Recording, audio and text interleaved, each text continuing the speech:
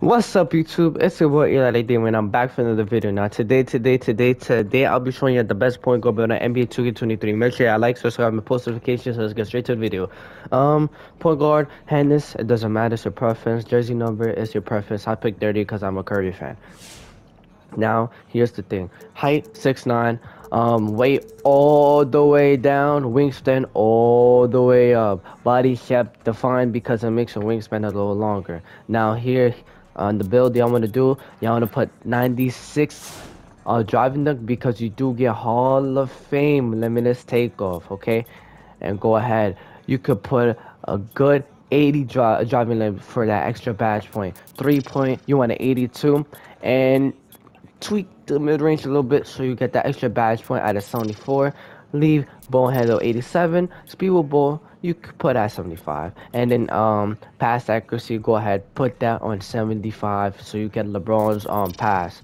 Vertical put at 82 um stamina leave it at 99 speed all the way up acceleration all the way up. Now here's the thing i didn't tweak defense right? Now i am 99 block. Oh my god. This build is broken and I will tell you why. Because you get Hall of Fame chase down for the rim runner guards, you hate Gordon.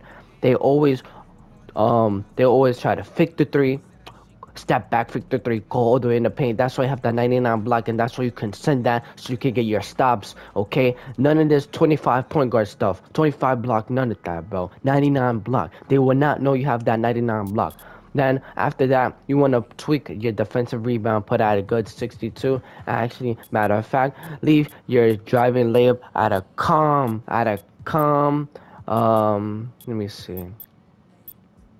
Leave it at leave it at 76 so you get that extra badge point so you can tweak your defense up to 16 okay matter of fact let's see if i can still tweak it for you guys let's see mm, nope you can't so it's just you know, now you know 16 defensive badges, 15 finishing, 18 shooting, and 20 playmaking. Okay, as you guys see, Hall of Fame chase down. Reason why I tweaked up the defense defense is so you um when you get your plus four, you put plus two on your finishing and plus two on your defense so you get Hall of Fame anchor and also so you get gold the posterizer for your tier 3 badges okay?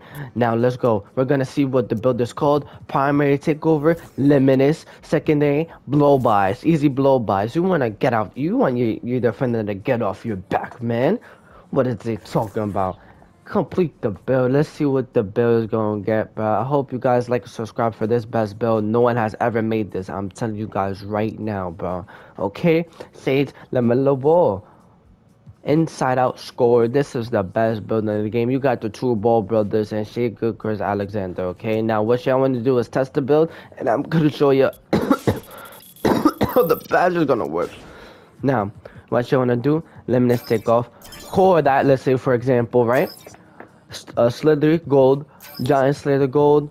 Um, you want Acrobat Silver if you want, and then um, Pro Touch Bronze, right? No, Silver, and then after that, put it on um, Posterizer. But here's the thing: plus two. You grind micro, you get plus four badges. Put the plus two in finishing, you get gold posterizer. Now, shooting, Agent threes, um, green machine, um, guard up, okay.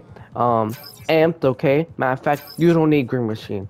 Alright, look, blinders and then deadeye, okay? You want deadeye and you want blinders. I'm telling you guys, those are the two best shooting badges in the game.